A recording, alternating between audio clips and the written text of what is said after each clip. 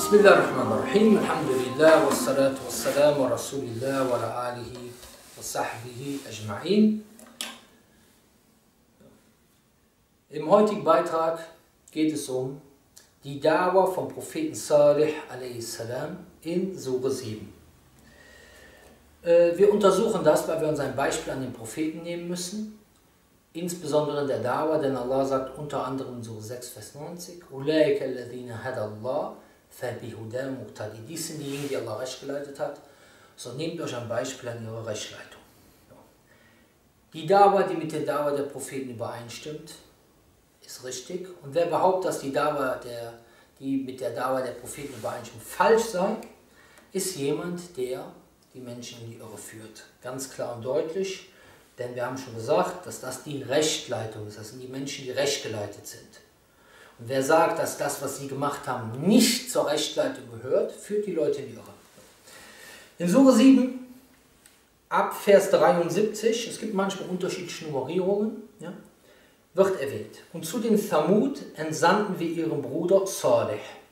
Er sagte, also erstmal wurde er entsandt. Es gibt heute Leute, die sagen, man soll nicht zu anderen Menschen gehen und ihnen sagen, dass sie auf dem falschen Weg sind. Man soll sie einfach so leben lassen, wie sie wollen. Jeder ist mit einer Religion geboren. Wäre dem so, dann, wären, dann wäre es sinnlos von Allah gewesen, die Gesandten zu entsenden. Und das ist purer Kuffer, diese Behauptung. Diese Behauptung beinhaltet puren Kuffer, zu sagen, jeder Mensch soll die Religion behalten, die er hat, selbst wenn die Religion falsch ist. Und so ein Schwachsinn wird teilweise verbreitet und diese Leute denken auch noch, sie wären die besten Muslime.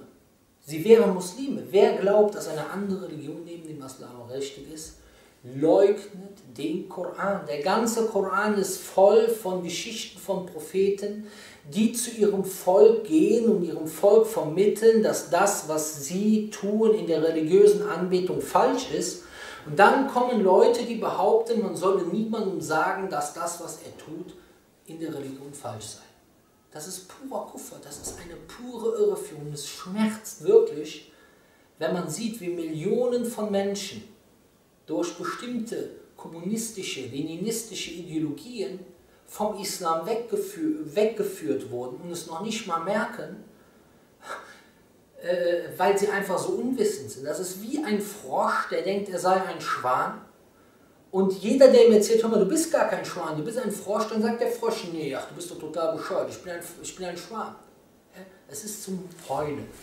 Naja, auf jeden Fall, der wurde gesandt. Dann sagte er, er sagte, O mein Volk, dient Allah, ihr habt keinen anderen Gott außer ihm. Das heißt, das Volk von Saleh hat andere neben Allah angebetet und er sagt ihnen jetzt, dient nur Allah und dient nicht den anderen. Diese Götzen, die ihr liebt, die euch so heilig sind, die haben nicht das Recht, angebetet zu werden. Was macht er damit?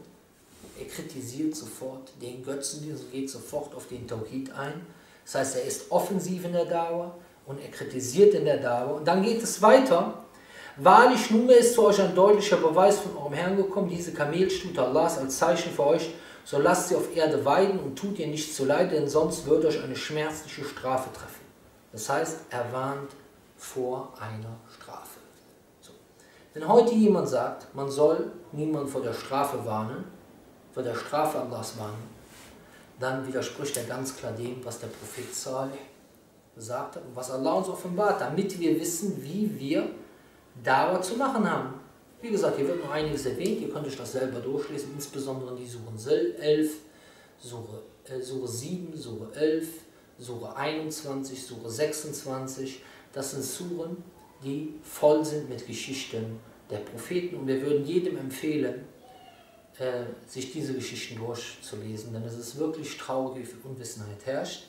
Das heißt, wir sehen hier, dass Saleh kritisiert hat, dass er direkt war, dass er äh, vor Strafe gewarnt hat.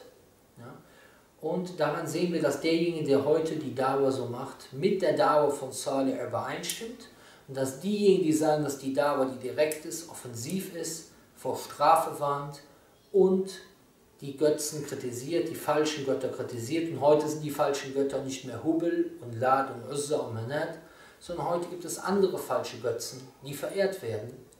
ja, die halt andere Namen haben. Und äh, dann muss man auch, so wie die Propheten das gemacht haben, sofort das Heiligste dieser Menschen, was verehrt wird als Gott, an, äh, also kritisieren und äh, argumentativ angreifen. Das ist der Weg der Propheten. Und jeder Weg, der dem Weg der Propheten widerspricht oder sogar den Weg der Propheten als falsch darstellt, ist ganz klar und deutlich ein Irrweg.